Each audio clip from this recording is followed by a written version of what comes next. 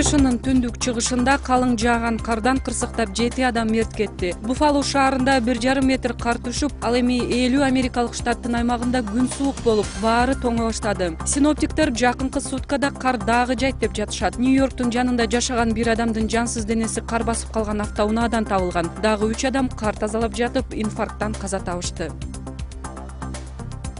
ислам мамлекети экстремисттик тобунун катарына кошулган франция жарандары паспортторун өрттөдү. Үгүт тасмасын тараткан согушчандар франциядагы мекендештерин өз катарларына чакырышкан. Париждин маалыматында франциянын төрт жүз жараны анын ичинде жүз аял ирак менен сириядагы согуштук аракеттерге катышып жүрөт